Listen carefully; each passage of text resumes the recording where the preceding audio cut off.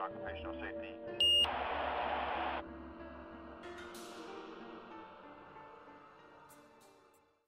So Freunde, herzlich willkommen bei Software.zone.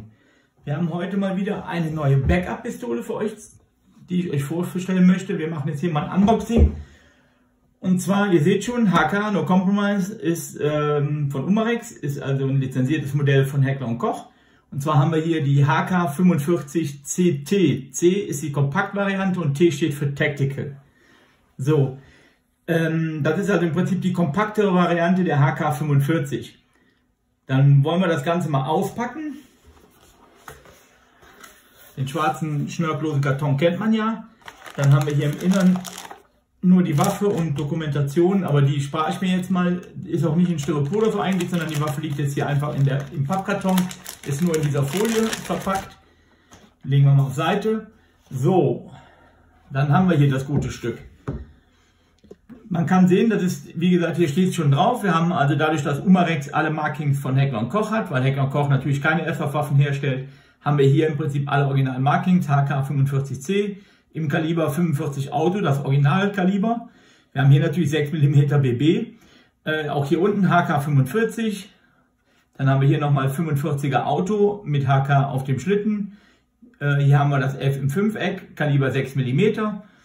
Ähm, und wir haben jetzt hier die Waffe in der Farbe Tan.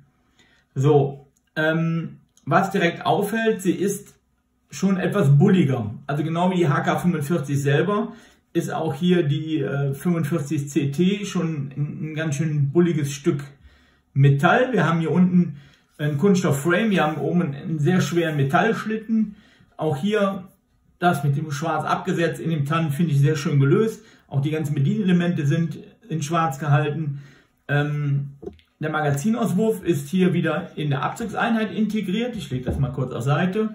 Äh, wir haben hier vorne Rippen zum Spannen und das geht bei HK ja immer etwas schwer. Wir haben hier vorne diesen Punkt, sage ich jetzt mal, wo wir drüber weg müssen. Und zwar ist das der Punkt, man sieht das hier, in dem Moment fährt eben hier äh, der Pat das Patronenauswurfsfenster runter, um den Weg für den Schlitten frei zu machen. So, und da geht das immer, beim Schießen merkt man das nicht, aber wenn man das so spannt, finde ich, merkt man da schon Widerstand. Auch hier, ne, man merkt immer so einen kleinen Widerstand bei der Pistole, aber wie gesagt, finde ich nicht besonders störend. Von den technischen Details her, äh, die HK45 ist in der Gesamtlänge 200 mm. Wir haben hier mit Magazin eine Gesamthöhe über alle von äh, 135 mm und wir haben ein Gewicht von knapp 800 Gramm, also 798 Gramm müssten es sein. Ähm, was hier an der Waffe besonders ist, ist, ihr seht hier ist noch ein zweiter Bügel, wir haben hier halt den klassischen Schlittenfang. Der ist beidseitig bedienbar, also vom Schützen rechts und vom Schützen links. Ähm, das haben wir hinten in den Haaren gespannt und dann gibt es halt hier die Möglichkeit, entweder das Ganze zu sichern, indem ich diesen Hebel nach oben lege oder wenn ich nach unten drücke, dann wird dieser Hahn, die, äh, wird die Vorspannung rausgenommen. Das heißt, der ist immer noch leicht gespannt, aber eben nicht mehr voll gespannt. Und wenn ich jetzt abdrücken möchte, also wie so eine zweite Sicherung, dann muss ich hier über einen großen Druckpunkt weg. Ähm, ist halt eine Double-Action-Pistole, ne? daran merkt man das. Hier vorne haben wir eine kleine Rail, um diverses Zubehör, wie zum Beispiel Lampen oder Laser anzubringen. Wie gesagt, bei uns bitte auf die Gesetzgebung achten. Lampen, Laser dürfen nur Dummies sein, müssen voll ausgegossen sein, auf keinen Fall wieder in Funktion gebracht werden können. Also die, da wirklich bitte darauf achten. Ähm, ganz wichtig, weil das ganz schöne Strafen mit sich ziehen kann. Ja, also wie gesagt, wir haben hier hinten nach dem Spannen die Möglichkeit, die Waffe, ähnlich wie bei der Sig Sauer P226, die Vorspannung rauszunehmen und dann muss ich halt hier über einen deutlich größeren Weg, um abzu, den Schuss abzuschlagen. Ihr seht hier vorne, deshalb Tactical, ich habe hier einen 14 mm CCW-Gewinde, da kann ich im Prinzip jeden äh, gängigen Tracer und auch jeden gängigen Silencer anschließen. Ja, ähm, was mir an der Waffe besonders gut gefällt, sind natürlich die Logos. Die Waffe ist wirklich äh, komplett original. Wenn man mal das Original daneben hält, gibt es kaum Unterschiede. Selbst vom Gewicht her liegt sie sehr gut. Ähm, sie hat einen ganz knackigen Also wirklich mehr als knackigen. Also hier deutlich mehr. Wir hatten ja letztes Mal die GTP 9, die war, also da merkt man schon, dass die deutlich schwächer ist äh, vom Abschlag her. Also finde ich äh, wirklich gut gelöst ähm, und wie gesagt, mir gefällt die Waffe extrem gut. Auch die, auch die Beschichtung hier ist äh, sehr realistisch gemacht und äh, auch wenn die schon ein paar Mal gespielt worden ist, man sieht hier so ein paar kleine Abnutzungserscheinungen, aber ansonsten habt die eigentlich bis jetzt wenig äh, Blessuren abbekommen. Ähm, wie gesagt, von der Funktion, wir haben hier den inzwischen bei vielen Pistolen so beliebten Magazinauswurf in der Abzugseinheit. Ich persönlich bin ein Freund von dem Knopf hier, ich tue mich damit ein bisschen schwer. Dann haben wir hier vorne nochmal mit einem kleinen Grip eben auch diesen Vordergriff, um die eben auch so taktisch zu führen.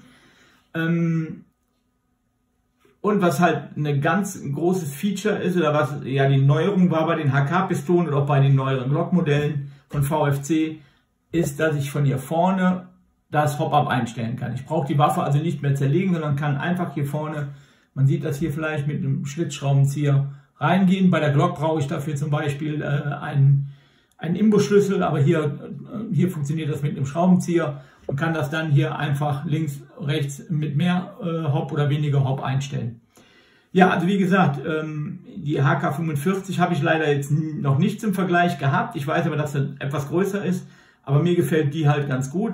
Auch wenn manche jetzt sagen, also hier unten das Griffstück ist natürlich für jetzt, wenn ich ganz große Hände habe, dann ist das sehr klein hier. Also das glaube ich, das ist nicht für jede Hand was. Bei mir funktioniert das, aber ich denke mal, wenn ich da mit Handschuhen so unterwegs bin, dann ist das auch, ist bei mir im grenzwertigen Bereich, aber ich finde die halt wirklich vom Klangbild her, von der Funktion her, von der Mechanik her, finde ich die wirklich gut gemacht. Zerlegen ist bei der hier halt so, dass ich äh, im Prinzip hier hinten den Schlitten habe dann drücke ich hier diesen Pin rein. Und zwar muss ich dafür das Fenster hier so in diesem Bereich haben. Dann lässt sich dieser Pin nämlich hier rausziehen. Moment. So, und dann kann ich die Waffe nach vorne ziehen. So, von Internals her, hier sieht man schon, das ist alles hier in Metall und Stahl gearbeitet. Auch hier die ganzen Führungen sind jetzt in, in Druckguss. Also ist auf jeden Fall Metall im Inneren. Auch hier diese Hebel rastet hier einfach sauber ein. Ähm, und im Gegenteil haben wir jetzt hier, da sieht man jetzt halt diese Hop-Up-Einheit. Wenn ich jetzt hier reingehe, dann macht es hier halt in dieser Verstellung Klick, Klick, Klick, Klick und ich kann halt ganz sauber exakt das Hop-Up einstellen. Ähm, auch hier das alles in Metall gearbeitet, Nosselführung und so weiter, alles eben von der Qualität her sehr, sehr hochwertig verarbeitet. Kann man also nichts Negatives drüber sagen. Zum Zusammenbau haben wir es genauso wieder. Wir führen die so, dass das Fenster hier sichtbar ist dann den Pin rein, Funktionstest und dann haben wir es schon wieder. Ja, das soll es mal zur HK45C gewesen sein. Äh, Im Anschluss findet ihr jetzt gleich noch einen Schusstest damit auf circa 10 Meter mit 25 Gramm BBs von Speckner Arms. Ähm, guckt euch das einfach mal an. Gas äh, habe ich jetzt einfach mal Elite Force genommen, weil das eben besonders hart kickt, weil das eben sehr äh, starkes Gas ist. Hat allerdings den Nachteil, dass es sehr viel Ölanteile hat und äh, dadurch, wenn ihr zu viel davon benutzt, dann sippt es euch ein bisschen aus der Pistole. Also deshalb äh, einfach mal gucken.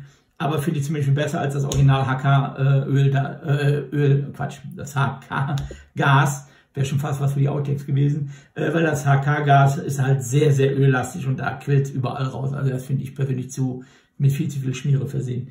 Okay, das soll es gewesen sein und dann würde ich sagen, bis zum nächsten Mal.